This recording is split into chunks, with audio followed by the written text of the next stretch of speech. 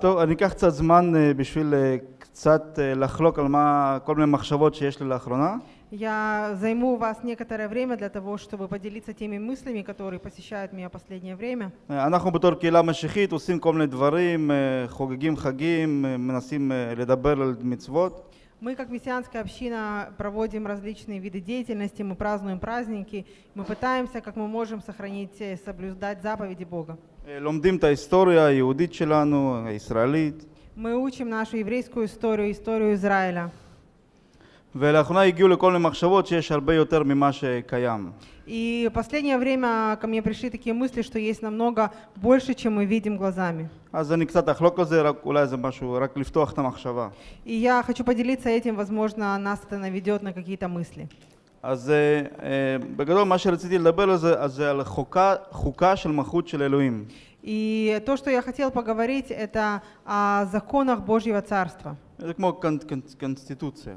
Как конституция Божьего Царства. אנחנו יודעים שהעם היהודי קיבל את התורה, את המצוות וכולי, Мы знаем, что народ еврейский получил Тору из заповеди.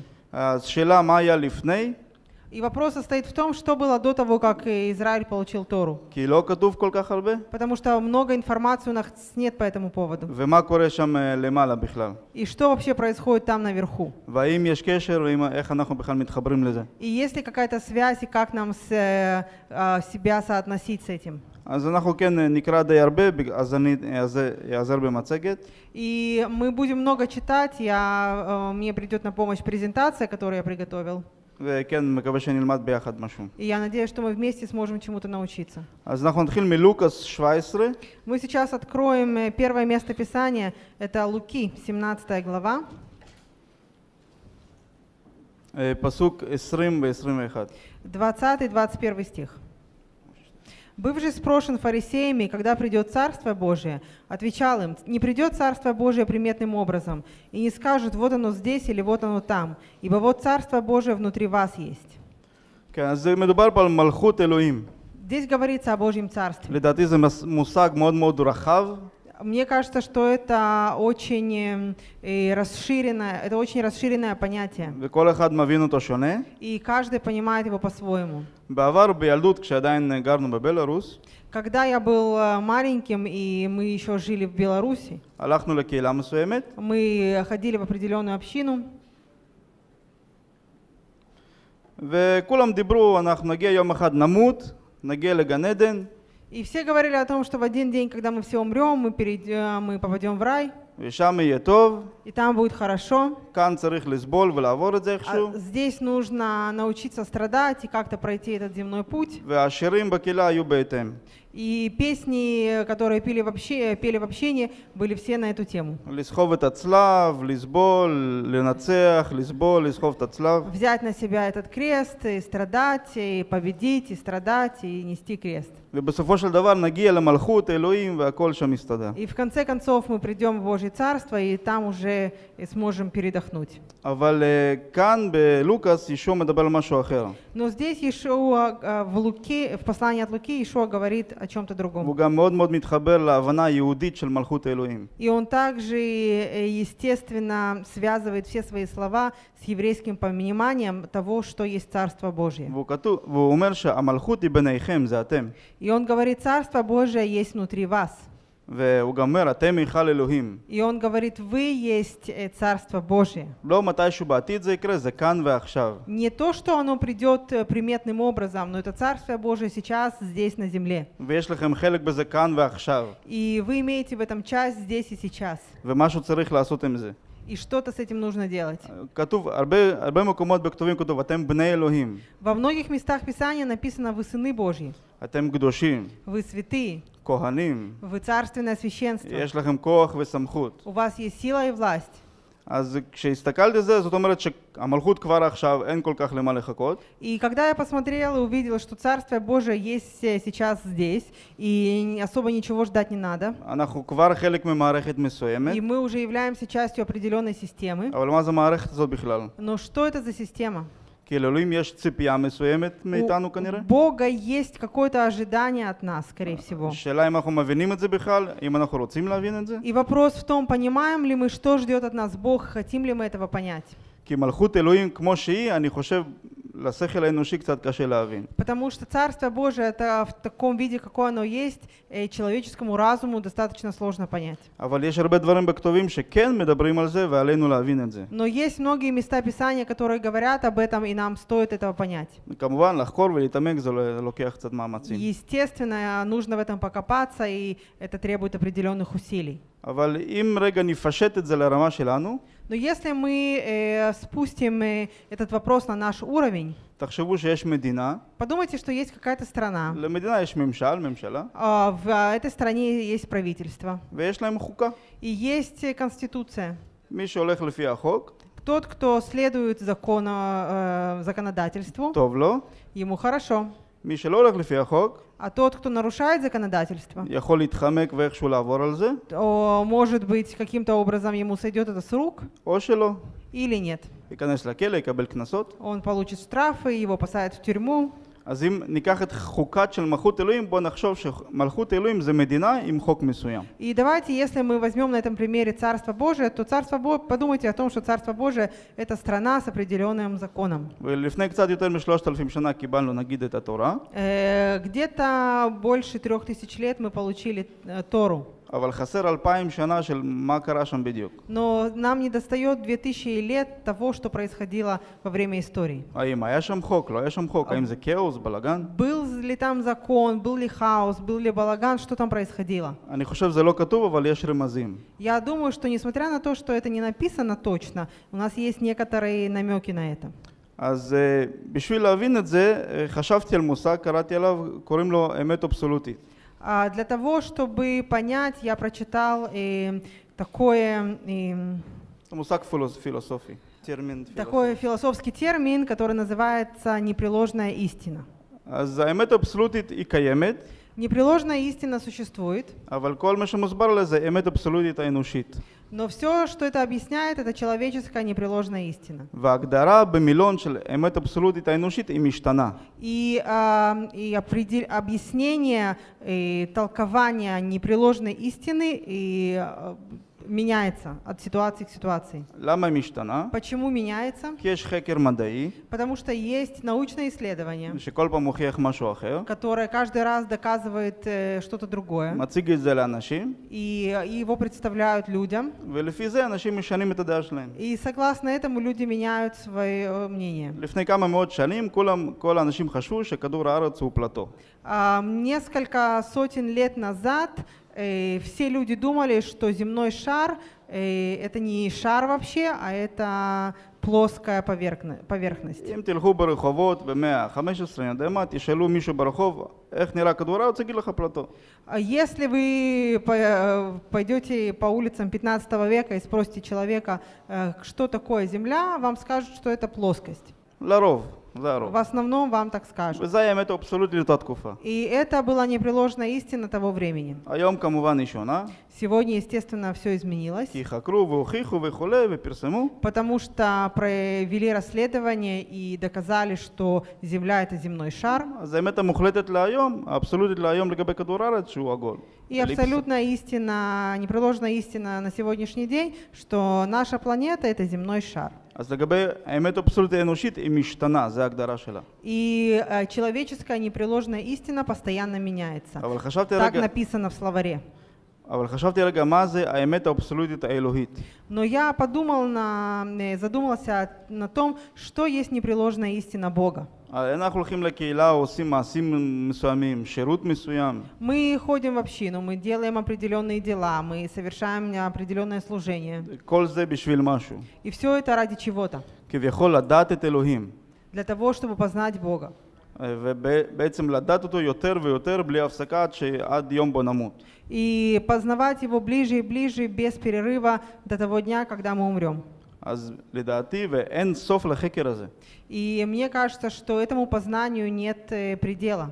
אז בעצם מה שאנחנו מנסים להשיג זה להגיע לאמת אבסולוטית, הכי קרוב לאמת אבסולוטית האלוהית. И я думаю, что цель верующего – это попытаться приблизиться как можно ближе к Божьей непреложной истине. ולדעתי אישית היא לא משתנה, И мне кажется, что Божья истина не изменяется, כי היא לא מושפעת על ידי זמן. потому что на Бога не влияет время. אין שום השפעה של זמן על, על מלכות אלוהית, Нет никакого временного влияния на Божье Царство, על האמת שלו וכולי. на Его истину и на все, что с ним связано. לדעתי גם על החוקה שלו. И мне кажется, что на Его законы, законодательство, חוקת מלכות אלוהים, אותה מדינה שמימית שקיימת ויש לה חוק, היא לא משתנה על פי, על פי זמן. на законы Божьего Царства также не влияет время, и они не меняются. אני יודע שזה קצת קשה ואולי ינזל המוח, אבל אה, עוד Я חצי שעה אני... думаю, что, может быть, это немножко сложно понять, и, возможно, э, у вас э, голова начинает болеть от этого, но немного времени дайте мне, я вам э, я поделюсь с вами.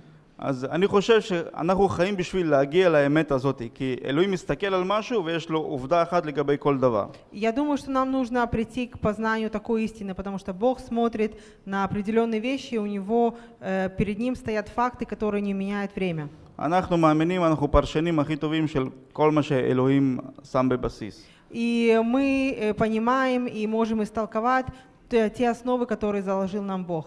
יש על כל פסוק בתנ"ך, יש עשרות פרשנים שכותבים על זה עשרות ספרים וכל אחד שונה אחד מהשני. И на каждый отрывок Писания в Танахе есть э, э, десятки толкований, написаны десятки книг, и все эти книги отличаются друг от друга. שאין מה לעשות, כנראה זה המצב, Скорее всего, с этим уже ничего не поделаешь. אבל לפעמים אני מנסה לדמיין את אלוהים מסתכל על כל המאות גרסאות האלה, אומרים בואנה, וואלה, לא, בכלל לא. И я иногда думаю, что Бог, может быть, смотрит на все эти версии и думает, что совсем не это Он имел в виду. אבל אה, בשביל להגיע לשם, קודם כל צריכים שיהיה יחסים ממש קרובים עם אלוהים, Но для того, чтобы дойти до этого момента, нужны действительно близкие отношения с Богом, во-первых, ובאמת לא להפסיק ללמוד ולחקור. и э, нужно постоянно не переставать учиться и копаться и приближаться к Нему. ואנחנו רואים שאותם אנשי אלוהים מהתנ"ך, שבאמת אה, שאפו לזה, אלוהים גילה להם סודות. И мы видим, что те люди, которые, э, про которых написано в Танахе, которые действительно стремились к этому, то Бог открывал им свои тайны.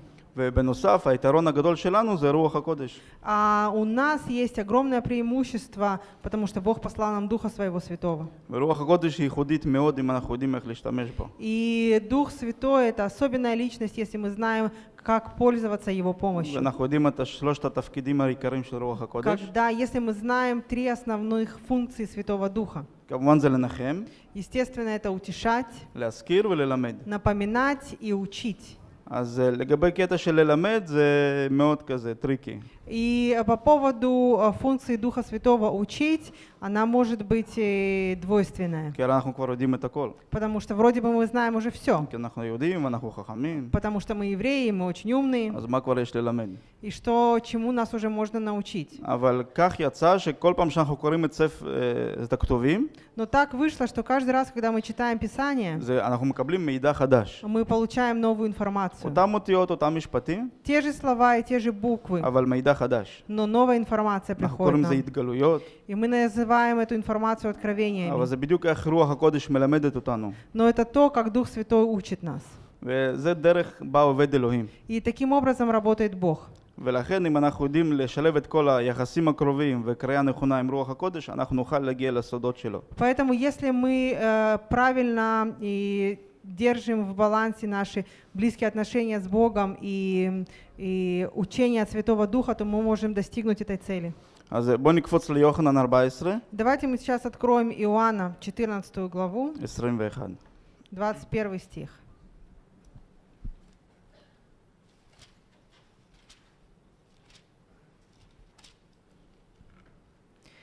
Кто имеет заповеди мои и соблюдает их, тот любит меня. А кто любит меня, тот возлюблен Отцом моим, и я возлюблю его и влюсь ему сам.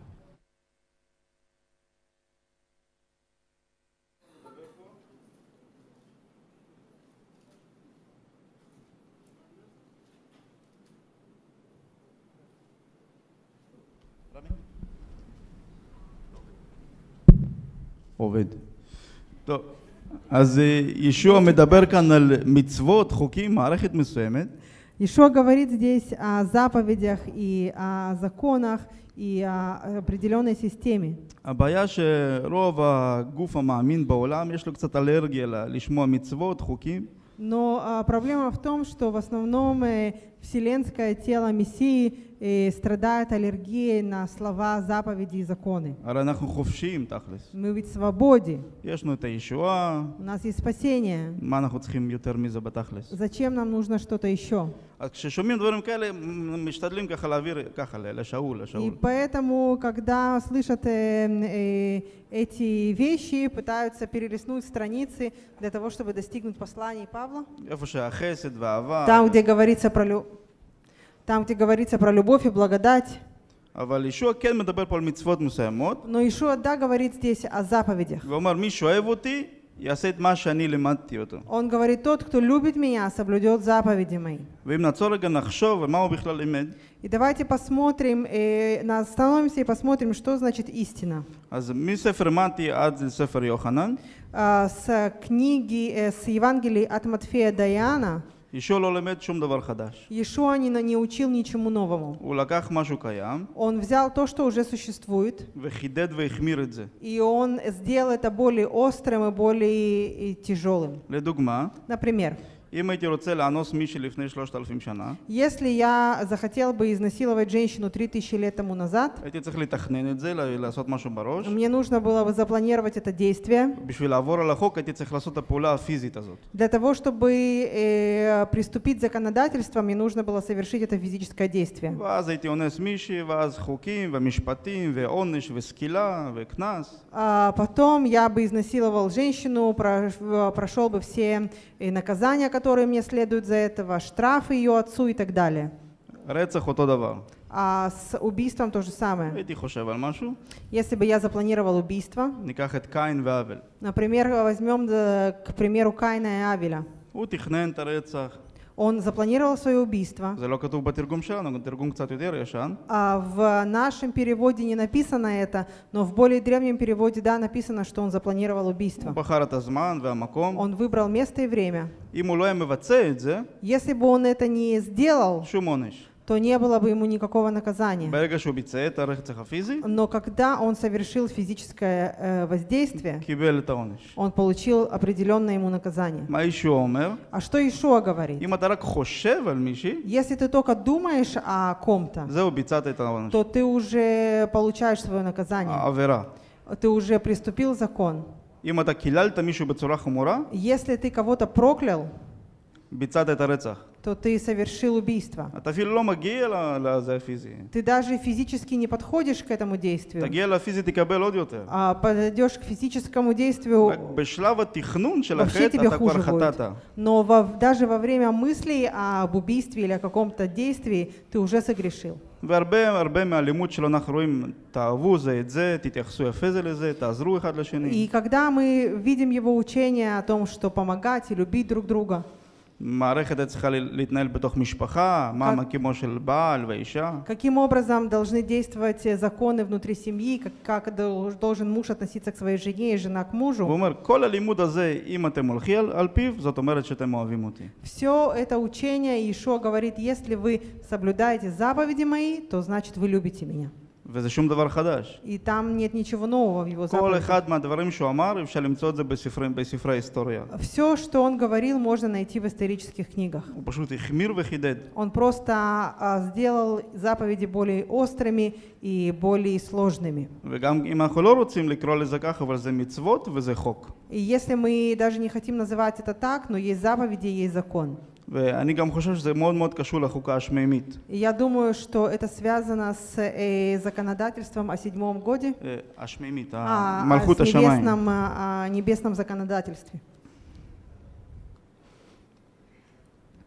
אז זה מאוד קשור, וזה תמיד משהו שהיה קיים, אנחנו פשוט לא, לא מכירים את זה כל כך. И это связано и всегда существовало, просто, может быть, не мы и не всегда знали об этом. ואנחנו נסתכל כמה догмаот. И мы сейчас э, посмотрим несколько примеров.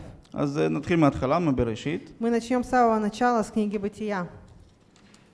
פרק 2. «Бытие», вторая глава.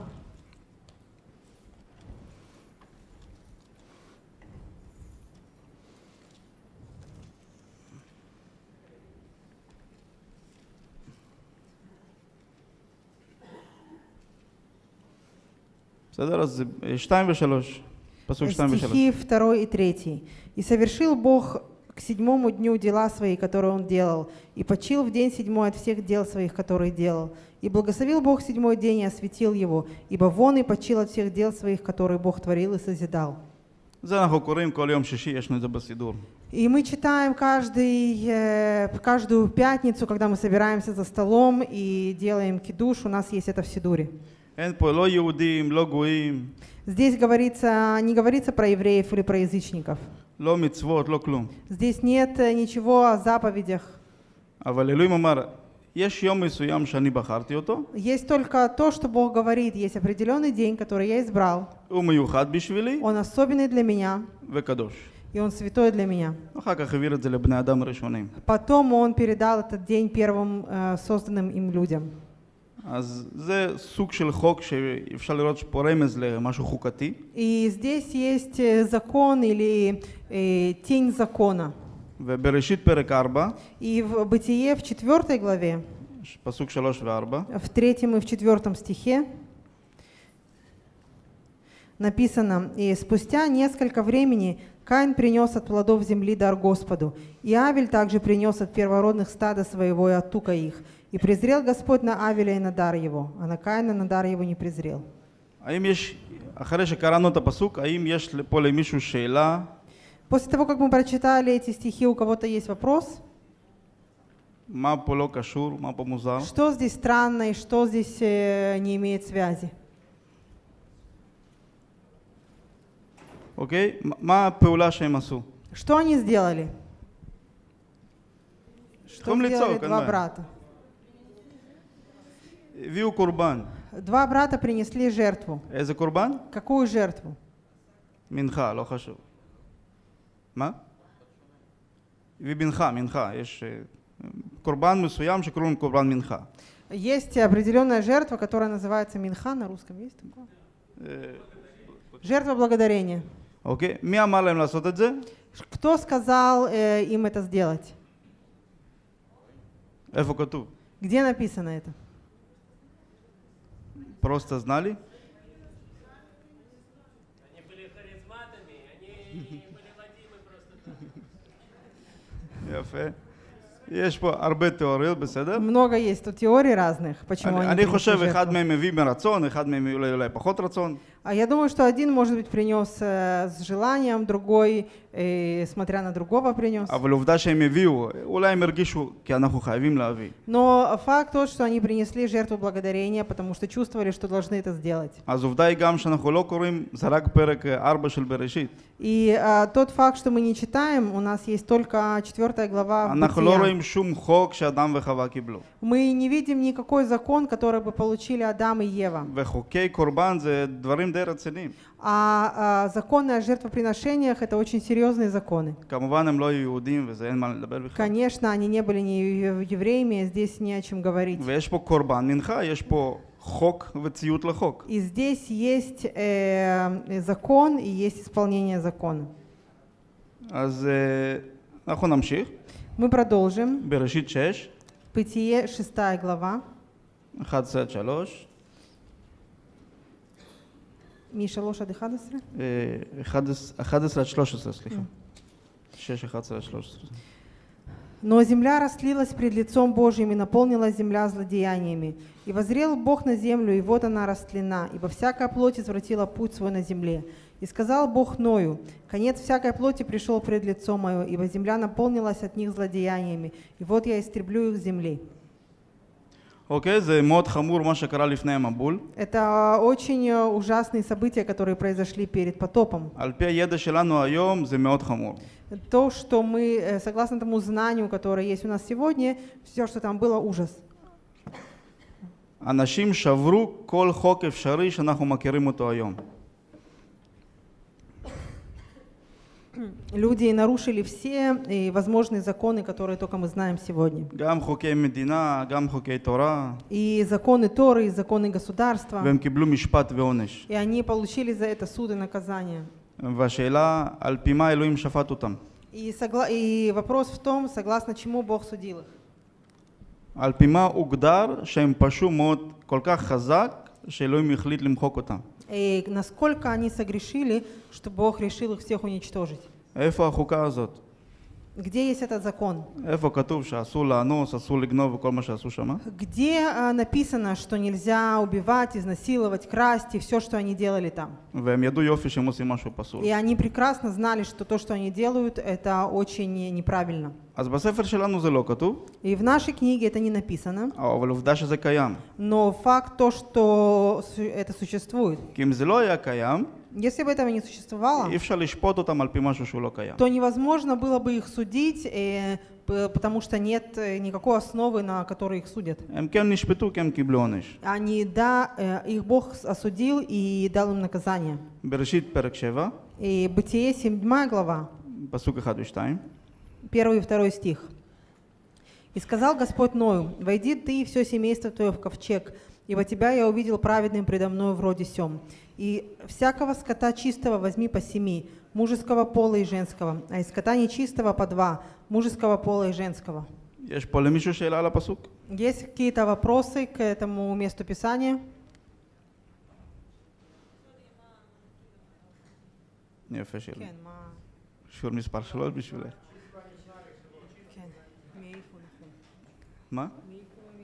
כן, אז יש פה ציווי על בהמה טהורה ובהמה לא טהורה. И как, э, на основании чего они могли знать, какое животное чистое, а какое нет? אם אנחנו הולכים הרבה קדימה, ל- קיבלנו את התורה, קיבלנו את חוקי הכשרות. Если мы пройдем, э, про- если проходит несколько сотен лет, и мы уже получаем законы кашрута и законы Тора о чистых и нечистых животных, тогда мы уже знаем, что есть чистое, что нечистое, что можно есть, а что нельзя. Но в Бытие 7 главе еще не было евреев, не было Торы и не было никаких законов о нечистых и чистых животных. Но Ной знал точно, что есть чистое и что есть нечистое. זה מאוד מתחבר לעתיד שאנחנו יודעים. это э, знает, это связано с тем будущим, которое мы знаем. Но что насчет прошлого? Откуда все это, откуда все это было бы известно ему и где это было написано? И потом мы знаем, что произошло впоследствии, как Ной пережил этот потоп. И что было первое, что он сделал, когда вышел из э, ковчега? Корбан. Он принес Богу жертву. Ламу юргиш лавита курбан. Почему он чувствовал себя обязанным принести Богу жертву? Потому что это было правильным, и это было известным правильным действием в то время. Потом мы переходим к 9 главе книги Бытия э, с 22 по 25 стихи.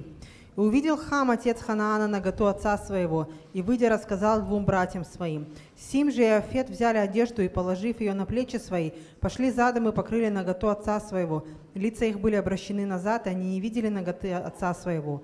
Но и проспался от вина своего, узнал, что сделал над ним сын меньше его, и сказал, проклят Ханаан, раб рабов будет он, он братьев своих. Маквар Хамаса. Что он уже сделал хам?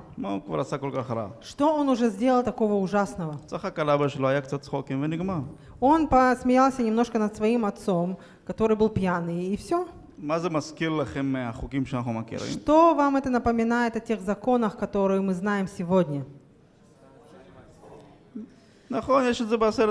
В десяти заповедях есть «Почитай отца твоего и мать твою». Знал ли он, что это проблема так поступать? Конечно, потому что факт тот, что два его брата знали и сделали совершенно обратное действие. Он э, э, получил суд и наказание אי אפשר לקבל משפט אם אין חוקה שהיא קיימת. И е- невозможно судить человека, если нет закона, по которому ты его судишь. ויש הרבה הרבה דוגמאות, אני רק הבאתי כמה. И есть очень много таких примеров, я просто привел вам несколько. ואז אנחנו יודעים שהאלוהים מביא את המצוות הכתובות לעם ישראל. И тогда мы знаем, что Бог п- дает записанные заповеди народу Израиля. ו... אבל יש פה גם, הצ- גם עצירה קטנה, Но я хочу здесь немного остановиться. Когда мы читаем весь этот процесс выхода израильтян из Египта, мы видим, что не только еврейский народ получил Тору. Я не буду на этом э, сосредотачивать внимание, проверьте это потом сами. Написано, что великое множество вышло с еврейским народом из Египта. И на, э, когда получали Тору на горе Синай, то было очень много других народов, которые не связаны с евреями. אז בעצם אלוהים דיבר לכולם. Бог говорил со всеми. אנחנו לא רואים את העמים האלה נכנסו לארץ, הם כנראה אה, הלכו למקומות אחרים. Мы, видим, мы не видим, что эти народы зашли вместе с ними в землю обетованную. Рак- Скорее всего, они пошли в другие места. רק מחשבה, השערה, אולי זאת הסיבה, אחת הסיבות למה ב- כמעט בכל חור בעולם יודעים משהו על אלוהים. Но, может быть, это и есть э, причина того, что в, в любой дыре мира знают ш- ш- хоть немного о Боге. הם יודעים משהו, יש סטנדרט מסוים, יש מצפון שעובד איכשהו. Они знают, что есть определенный стандарт, у них э, совести действуют согласно определенным стандартам. אבל מה שקרה, לדעתי, Но то, что мне кажется произошло тогда, אלוהים לקח משהו שהוא קיים, Бог взял что-то уже существующее. קודם כל קיים אצלו תמיד, Во-первых, то, что существовало у него всегда, אותם סטנדרטים של מלכותו, те стандарты его царства, אותם חוקים, те же законы, העביר את זה בצורה שאנחנו לא יודעים איזה צורה לאנשים שהיו לפני התורה, и он передал их э, каким-то образом людям, которые жили до получения Торы. ואז כתב את זה גם בצורה פיזית, ואנחנו רואים שעם ישראל קיבל את זה. А потом он записал это в Торе, и мы видим, что народ израильский получил эту Тору. אבל לפי הרמזים והסוד, והסוד שאנחנו רואים בספר בראשית, Но согласно происходящему в книге Бытия, זה לא שונה בהרבה ממה שקיבלו. а, н- э, его законы не сильно отличаются от тех, которые были до этого. וכנראה, אנחנו נראה את זה בהמשך, זה קשור ל- למעלה. И, скорее всего, мы также увидим их э, в продолжении, и они связаны с э, высшим царством. ואנחנו עכשיו נקפוץ לעידן יותר קרוב אלינו, И сейчас мы перенесемся в нашу, э, в эпоху, которая более э, близкая к нам. והנציג הכי גדול של מלכות השמימית הזאת זה כמובן ישוע. И, естественно, высший представитель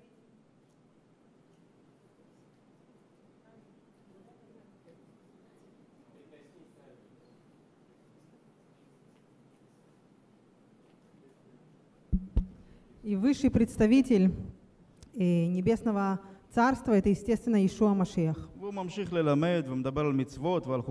И он продолжает учить, говорить о заповедях и о законах. И, конечно, он говорит в свете уже существующего, он не придумывает ничего нового, об этом мы говорили не раз. И в Матфея 5 главе с э, 17 по 19 стихи написано, «Не думайте, что я пришел нарушить закон или пророков. Не нарушить пришел я, но исполнить. Ибо истинно говорю вам, доколе не придет небо и земля, ни одна йота и ни одна черта не придет из закона, пока не исполнится все. Итак, кто нарушит одну из заповедей сих малейших, и научит так людей, тот малейший наречется в Царстве Небесном. А кто сотворит и научит, тот великим наречется в Царстве Небесном. Окей, э, okay, лемучуманьян. Интересное учение. הוא לא אומר שמי שילמד נגד התורה או נגד החוקים של המלכות, Потому что он не говорит, кто будет учить против Торы и законов царства, הוא ילך לגיהינום ומשפט וזה וזה. то пойдет э, в, э, в ад и получит суд. הוא אומר, מי שילמד נגד מה שמצווה, ייקרא הקטן במלכות אלוהים. Он говорит, тот, кто а, научит с- и нарушит одну из малейших заповедей и научит так, тот малейшим наречется в Царстве אבל Небесном. מי שכן הולך על פי החוק Но тот, кто соблюдет э, весь закон וגם מלמד ככה, и также научит других, יקבל מעמד יותר גבוה באותה מדינה. тот великим наречется, получит э, высокий пост в той стране. אז מזה אפשר ללמוד שחוקים ומה שאנחנו אה, עושים או לא עושים לאו דווקא קשור לישועה. И э, из этого можно научиться тем, что законы и заповеди не обязательно связаны со спасением. לפעמים כן, לפעמים לא, יש מערכת של חוקים וחטאים, אנחנו צריכים ללמוד את זה. Иногда да, иногда нет. Есть целая система грехов и нарушения законов, которую мы должны выучить. אבל הליכה על פי החוק והמצווה מקרבת אותנו אל המלך. Но э, хождение соблю- э, по Божьему закону и соблюдение его заповедей по- приближает нас к царю. זה קשור להתפתחות רוחנית, לברכות, Это связано с благословением, это связано с духовным развитием. לקריאה, לשירות. כתוב שבו שאתם כן צריכים ללמד שזה החוקה הנכונה. Связано с призванием и со служением. И написано, что вы должны учить правильному законодательству. אנחנו קצרים בזמן, אנחנו נקפוץ לעברים. И у нас не хватает времени, мы сейчас э, перепрыгнем к посланию евреям. 8-10. 8 глава, 10 стих. «Вот завет, который завещаю Дому Израилеву. После тех дней, говорит Господь, вложу законы мои и мысли их, в мысли их, и напишу их на сердцах их, и будут их, бу- их Богом, а они будут народом моим». אוקיי? הוא אומר שהוא ייקח את התורה, החוק, Он говорит, что он возьмет закон, Тору, מסוים, определенный закон, ישים את זה בתוך ליבם של האנשים, и вложит их в сердца людей. ואלה שאוהבים את אלוהים, אלה שהולכים אחרי אדון, הם אוטומטית יהיו מצויתים לחוק. И те, которые любят Бога и идут за Богом, они автоматически будут соблюдать этот закон. כי הלימוד הוא ככה, אם אתה אוהב את הזולת ועושה הכל בשבילו, ואם אתה אוהב, אוהב את אלוהים Потому что основа закона такова, что если ты любишь Господа и любишь ближнего, то ты автоматически э, сможешь соблюдать все заповеди Торы.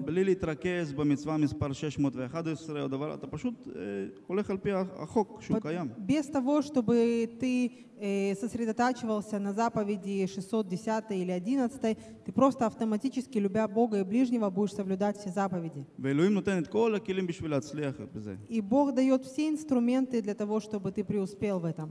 מתי, ב- במתי 11 כתוב, Э, В Матфея 11 главе написано, פסוקים 28 עד 30,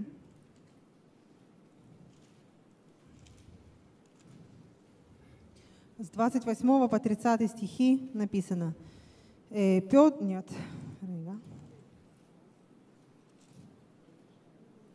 Придите ко мне, все труждающиеся и бремененные, и я успокою вас. Возьмите иго мое на себя и научитесь от меня, ибо я кроток и смирен сердцем, и найдете покой, покой душам вашим. Ибо иго мое благо, и бремя мое легко. У Бога нет никакой причины э, просто делать так, чтобы нам было тяжело. Но если мы хотим э, быть в Его Царстве, мы должны э, послушаться законам Его Царства. И Он дает нам все инструменты для успеха. У нас есть Его Слово, у нас есть Дух Божий, который помогает нам соблюдать Его. יש רוח של דת שהיא מבלבלת, שאתה חייב לעשות מצוות, ואתה חייב, ואתה חייב, גם אם אתה לא רוצה, אתה חייב. И есть э, религиозные установления, которые иногда нас путают и говорят, что ты должен соблюдать это и это. ומצד שני יש חופש, אתה לא חייב לעשות שום דבר, פשוט תהנה, ואתה נושע, והכל בסדר. А с другой стороны, есть те, которые говорят, что у нас есть свобода, и свобода от всех заповедей. Тебе нужно просто жить в свое удовольствие, не нужно ничего соблюдать. וזה מבלבל. И все это неправильно и путает нас. אבל הוא אומר- אלוהים אומר, זה הדבר שלי, תקרא אותו, Но Бог говорит, это мое слово, и тебе нужно читать его, תבין את המשמעות, понимать его значение, תחשוב על זה, думать о нем. כי זה משפיע עליך, על המשפחה שלך, על הקהילה שלך, על המדינה שלך. Потому что это будет влиять на твою общину, на тебя, на твою семью. והוא אומר, אני אומר שזה חשוב. И он говорит, что я тебе говорю, что это важно. זה חשוב, זה עובדה, זה חשוב, אתה לא יכול להתעלם מזה. Это важно, и это факт, и ты не можешь игнорировать этот факт. והעול הזה כביכול, עול החוק של מלכות השמיים, הוא קל. И אישו אומר שהוא קל. это бремя, так сказать, бремя закона Божьего, Ишуа говорит, что оно благо и легко. אז פשוט אתה צריך להבין את זה, כי אם אתה עכשיו עושה חוק מסוים, אתה, אתה סובל מזה, Просто это нужно понять, потому что если ты сейчас соблюдаешь определенный закон и страдаешь от этого, אז זה- זה לא מאלוהים, משהו тогда שם לא это не от בסדר. Бога, тогда здесь как что-то неправильно. אבל אם אתה הולך על פי החוק שלו, כי אתה אוהב את אלוהים, כי אתה רוצה לרצות אותו וזה עוש- זה עושה לך טוב, Но если ты идешь и соблюдаешь Божьи заповеди, потому что ты любишь Бога, и это делает тебе хорошо, אז אתה בעצם נהנה ומתפתח תוך כדי שאתה מציית. тогда ты и развиваешься а, в твоем хождении с Богом и в соблюдении Его заповедей. עוד דבר אחד אני רוצה לקרוא, כנראה פסוק אחרון. Еще последнее место Писания я хочу прочитать вам. אה, משמות 24, Исход, 24 глава.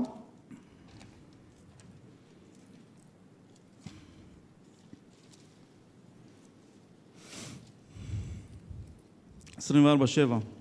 Седьмой стих.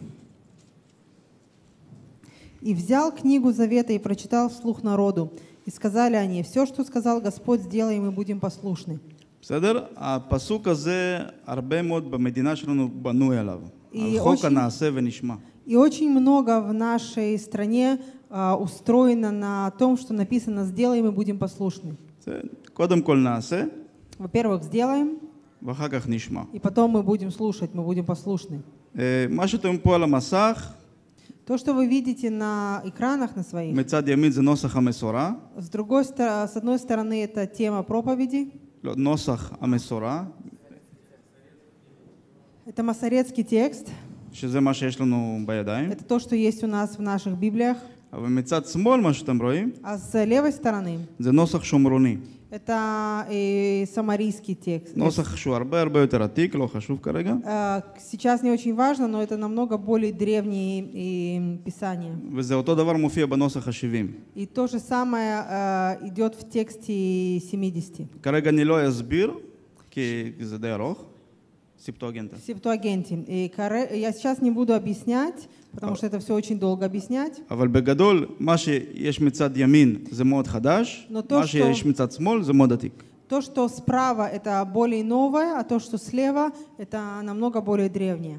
אז במסורה כתוב נעשה ונשמע, И в, э, в наших э, текстах, в новых написано э, «сделаем и будем послушны», אבל בשומרונים ובשבים כתוב נשמע ונעשה. но в, самра, самранийск- э, в, э, в самарийских написано э, «будем послушны и сделаем».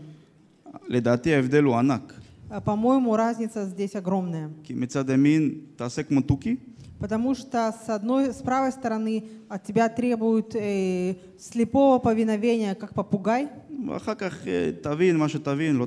То есть сделай сначала, а потом поймешь э, хорошо, не поймешь, неважно.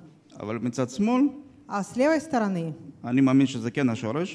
я верю, что это истина, и это действительно то, что было в начале. Написано, что мы послушны будем и сделаем. А подумай о том, что Бог говорит тебе. Тафним, тахшов. А, прими это, а, вложи это внутрь себя. Тавин это машмаут. Подумай об этом и пойми значение этого. Вастасы. И тогда делай. Альтия робот. Не будь роботом. И это то, что ожидается от нас. אפשר להתעלם בכלל מכל מה שדיברנו עליו ובזבזנו עכשיו ארבע- 40 דקות, Можно проигнорировать все, о чем мы говорили, и просто потерять 40 минут. וכנראה גם רובנו ניפגש בגן עדן ויהיה בסדר, И, скорее всего, что многие из нас, э, мы потом встретимся э, в Царстве Небесном, и уже будет все хорошо. אבל אפשר לקחת משהו שמאוד יקר לליבו של אלוהי- לאלוהים, Но можно взять то, что дорого сердцу Бога, להבין את המשמעות של זה, понять значение этого ולהיכנס למשהו שהוא תכלס הרבה יותר ענק. и зайти во что-то, что более глубокое. אני אסביר ואתן דוגמה. Я хочу объяснить и дать пример. תחשבו שהנוער הילדים שיש לנו בבית, Подумайте о том, что дети и подростки, которые есть у нас дома, אחרי שהם קיבלו את הלימוד של המצווה, כבד את אביך ואת אמך, после того, как они получили эту заповедь и их научили э, Э, уважать своих родителей. Для того, чтобы продлились их дни на этой земле.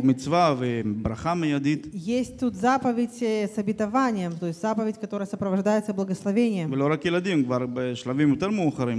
И не только для детей, и для взрослых людей тоже почитать своих родителей, это не менее важно. И тогда они говорят, я получил эту заповедь. Машмут, Я понимаю ее значение. Это максимум. Я буду пытаться из всех своих сил. Или возьмем другое, к примеру. Э, уважать э, своего супруга. Каждый, который э, знает, каждый должен понять свое место дома. А הבעל והאישה יגידו, אני מבין מה מצופה ממני, И жена и муж скажут, э, мы понимаем, что ожидает от- ожидается от нас. אני מבין מה, מה זה המשמעות של זה במלכות, Я понимаю, какое значение это имеет для царства. של הכיבוד, של העזרה ההדדית. Взаимопомощь и взаимоуважение. אני הולך לעשות את המקסימום. И я постараюсь сделать по максимуму. לא את המינימום, לא להתעלם מזה, אני הולך, הולך באמת להשתדל. Я не буду делать минимум, я не буду игнорировать, но я буду стараться делать максимум. יש את מצוות השבת, И Есть заповеди о субботе. שאלוהים אומר, זה יום מאוד מיוחד בשבילי. И Бог говорит, э, очень часто говорит, что это особенный день для меня. אולי אנחנו לא מבינים את זה, אבל זה חוק שבין החוקים הראשונים, זה קשור ישירות למלכות שלו, השמימית. И, возможно, мы не понимаем, но это один из первых законов, который существовал, это связано с его царством. וכל אחד באופן אינדיבידואלי, או משפחתי או קהילתי, יגידו, וואלה, אם זה חשוב לך, זה חשוב גם לי. И каждый, как э, личность, как э, член семьи, член общины, понимает, говорит, если Бог тебе это так важно, то я буду максимально делать, чтобы для меня это было важно. בוא נראה, אלוהים, מה אתה רוצה איך הש... שהשבת שלי תיראה. И помоги мне, Господь, покажи мне, как ты хочешь, чтобы выглядел мой шаббат. או שחוקים כמו אה, אהבו זה את זה. Или, ליביתי דרוק. а, или законы о том, что возлюбите друг друга. החוק הכי קשה ב- בכל התורה. Это самый сложный закон во всей Торе. אני מבין שזה מה שאתה רוצה, Я понимаю, что это то, что ты хочешь, אני אשתדל ואני אעשה את המקסימום. и я буду пытаться делать максимум. או להיות פורה. Или быть, לימוד של ישוע, אתה חייב להביא פרי, לשרת. или быть плодоносным. Это, Иш- это закон, учение Иешуа, что ты должен служить и приносить זאת плод. אומרת, אני מבין את זה, אני לא הולך להתעלם מזה, אני הולך לנסות. Ты говоришь, я понимаю это, я не буду это игнорировать, я буду пытаться всеми силами. אז אפשר רק לדמיין שאם אנחנו נעשה את המקסימום ולא את המינימום, и можно только представить себе, что если мы будем делать максимум, а не минимум, и даже если мы будем падать и вставать и продолжать бежать, давайте только подумаем, какая, какое влияние будет на наши отношения с Богом. И какое будет влияние на наши семьи.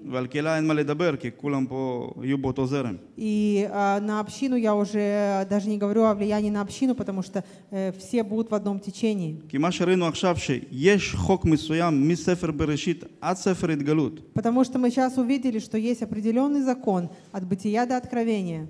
וזה קשור למלכות שאנחנו כל כך שואפים להגיע אליה. И у на- это оно связано с царством, в которое мы все так стремимся попасть. אבל לרוב אנחנו כ- ככה מנסים לעשות את המינימום ולהגיע אליה, Но мы э, в большинстве случаев пытаемся сделать минимум для того, чтобы попасть в שאפשר, это כתוב, царство. אפשר, כאילו, אפשר להיוושע כמו מאש, Написано, что из огня можно спастись. ואנחנו נוכל לעשות שבת הבא שיעור איך אפשר להצליח להגיע למלכות ולעשות את המינימום. А, В следующую субботу мы будем от- говорить о том, какой минимум нам нужно сделать, чтобы попасть в царство. ולהגיע שם לפאתים, לפאתים. Чтобы при- прийти там у ворот посидеть. אפשר, כאילו, זה ממש כאילו לא קשור לישועה. можно, это со спасением не связано. Чтобы ואני знать. חושב שאצלנו בקהילה הספציפית, אני אדבר ככה בקהילתנו, И я говорю про нашу общину. לרובנו יש שורש לא כל כך טוב. У многих не очень хорошие корни. כי לימדו אותנו שם ברוסיה, Потому что нас תעשה ישוע учили משיח, чему-то в России или еще где-то. תיוושע, מספיק לך. Прими Ишуа Машеха, спасешься, и тебе этого достаточно. מקום מובטח, הכל У טיפ-טופ. тебя уже э, место зарезервировано, все нормально. אבל אנחנו מדברים פה על משהו אחר, על מערכת יחסים חיה ובריאה עם אלוהים. Но мы здесь говорим о другом, мы говорим о живой э, системе отношений с Богом. אז זה מה שרציתי לחלוק איתכם היום. Это то, что я хотел, че- тем хотел с вами ואולי поделиться זה сегодня. כן יהיה למישהו חולם למחשבה, יש כאלה שכנראה שלא. И, возможно, многие и будут размышлять об этом, многие нет. אבל ב... אני אסיים בפסוק מירמיה 33:3. Но я хочу закончить э, местом Писания из Иеремии э, 33.3.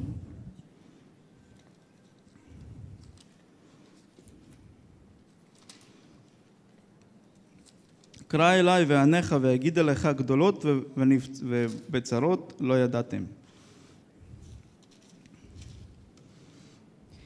«Воззови ко мне, и я отвечу тебе, покажу тебе великое и недоступное, чего ты не знаешь». אלוהים תמיד רוצה לגלות עוד, Бог всегда хочет открыть нам что-то еще, אבל הוא לא תמיד מוצא את הלב הנכון שבאמת צמא לזה. но не всегда Он находит жаждущее для этого сердце. אבל הפסוק הזה לדעתי מאוד מעניין, И этот стих мне кажется очень интересным, כי אנחנו צריכים ללמוד להקשיב לו מעבר לכתוב.